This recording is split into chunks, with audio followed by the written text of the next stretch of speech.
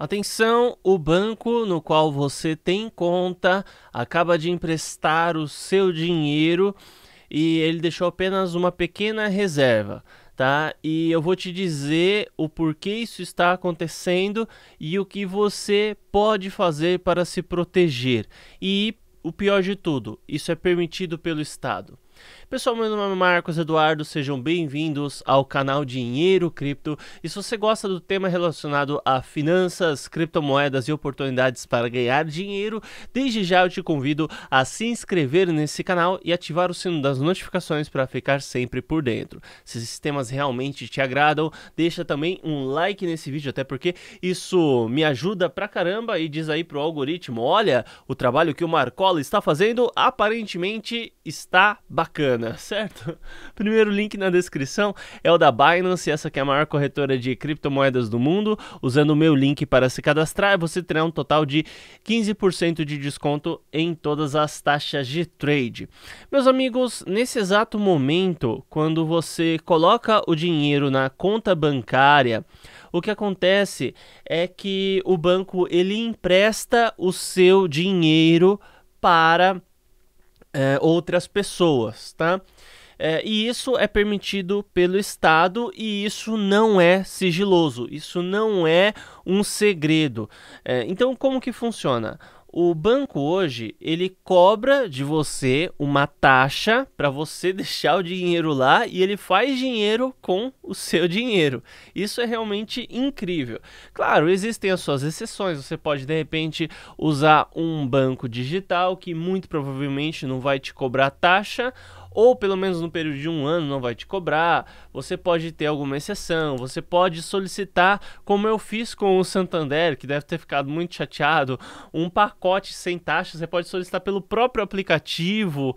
É, se você não utiliza alguns dos serviços, como é, TED, por exemplo, enfim, é, você pode ir na agência também solicitar o pacote sem taxa e faça isso, tá? Faça isso mesmo. Vai lá até o banco e pede o pacote sem taxa tá?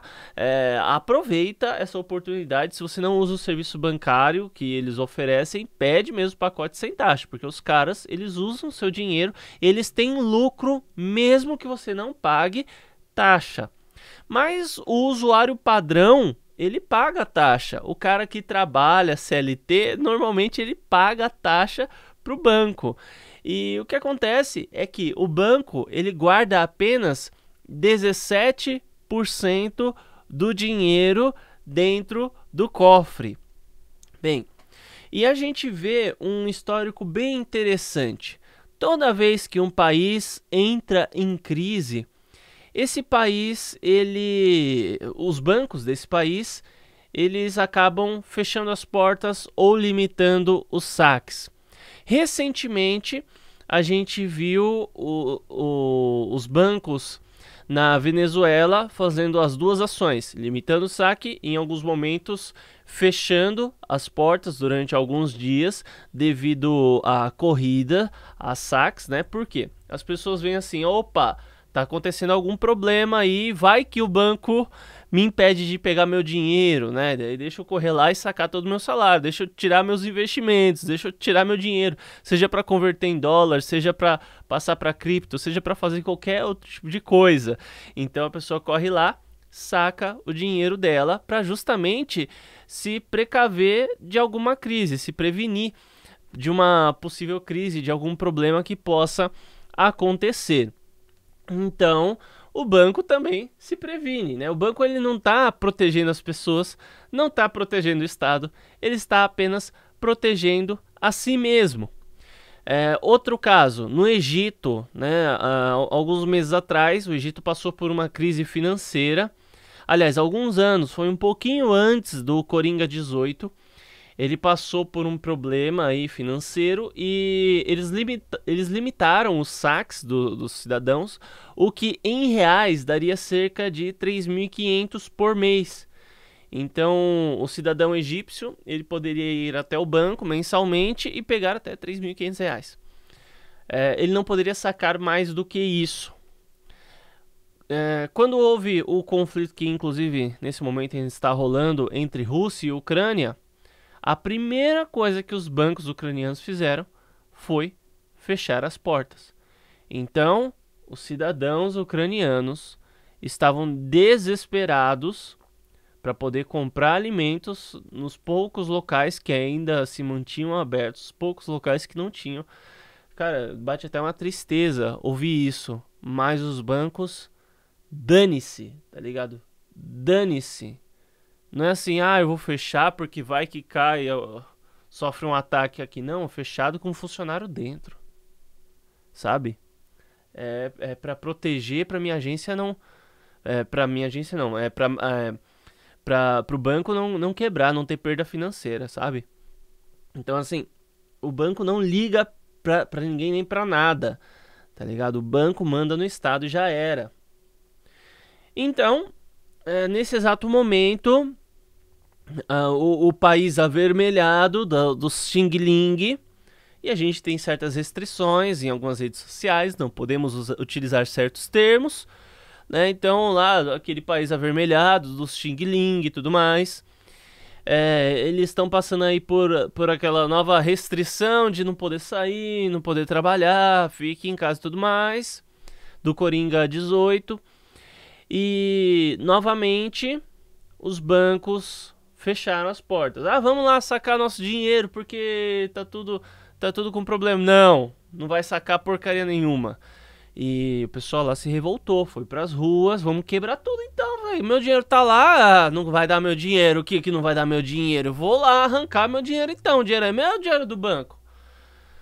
E o, o Estado foi e colocou até tanque né? Sabe, tanque de lavar roupa. É, colocou tanque de lavar roupa. Sabe aquele que dispara projéteis que fazem cabum? Então, colocou tanques de lavar roupa que disparam projéteis que fazem cabum. É, eu tenho até imagens aqui, só que eu prefiro não mostrar. Não é só por conta de monetização, é porque às vezes perde alcance e isso daí já, já passa a ser prejudicial a longo prazo. É, então, a, a grande questão em torno disso tudo, e por que eu comecei a falar nesse assunto, é o seguinte: quando o seu dinheiro está em criptomoedas, você pode passar por problemas como, por exemplo, a desvalorização. Você pode sofrer com grandes oscilações. Óbvio que sim. Isso é muito ruim. Claro que é ruim quando desvaloriza mas quando valoriza é bom, obviamente. Mas ao mesmo tempo, o Estado não vai poder te roubar. Tem um, um, um rapaz que ele, traba que ele é corretor imobiliário. Eu cheguei a fazer um certo grau de amizade com ele, não virei amigo dele, mas a gente bateu um longo papo, enfim. E ele estava comentando: olha, eu vendi um restaurante para um amigo meu, né? Na verdade, passei o restaurante para ele, mas foi um contrato de boca. E o aluguel ainda acabou ficando no meu nome, ele não passou os papéis para o nome dele. E ele saiu de lá. E, enfim, ele ficou devendo aluguel e o dono do restaurante, em vez de processar ele, me processou. E daí agora eu tive que pedir divórcio no papel com a minha esposa, porque senão meus bens seriam tomados. Então, assim, o cara não tinha. Ele teve culpa, não no sentido de. Não no sentido de fazer algo errado, no sentido de ser imprudente. Do mesmo jeito, por exemplo, se você deixa a porta da sua casa destrancada, você deixa a porta da sua casa aberta, escancarada, e o portão também, entra um, um, um ladrão e rouba, você não é culpado do cara te roubar, você apenas foi imprudente, entende? É diferente, você não tem culpa.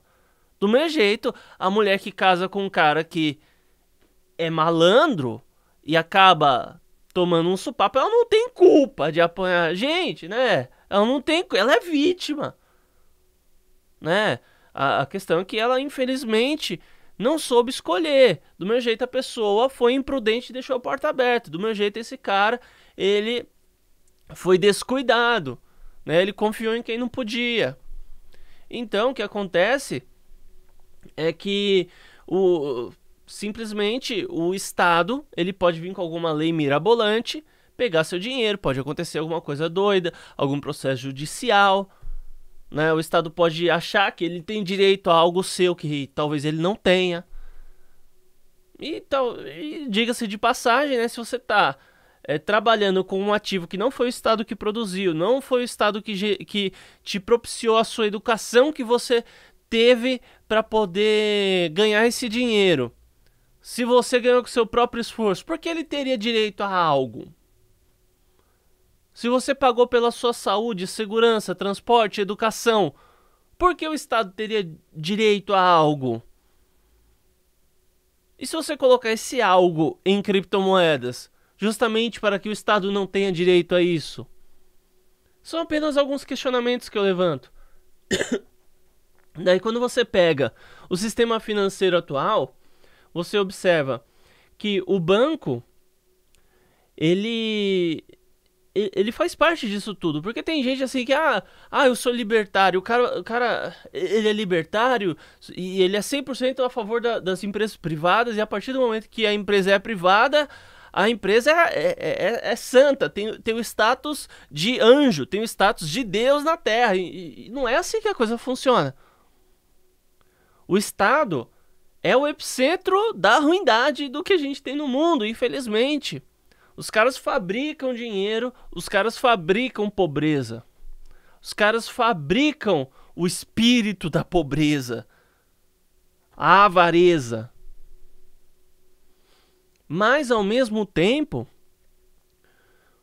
o, é, que eles são responsáveis pela inflação, os bancos também são. Por quê? Os bancos fazem empréstimo de um dinheiro que era para ficar parado na conta. Aquele dinheiro era para ficar parado dentro de um cofre. Entendeu? Essa é a lógica. E os bancos emprestam dinheiro.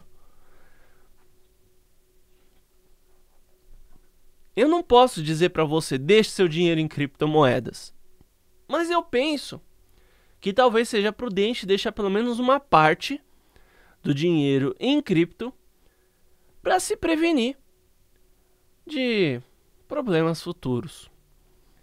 E uma coisa que também você pode fazer para se prevenir de não receber os vídeos aqui é se inscrever e ativar o sino das notificações. Deixa um like também aí, que isso ajuda pra caramba e diz pro algoritmo que esse conteúdo é bom. Muito obrigado por ter assistido e até mais.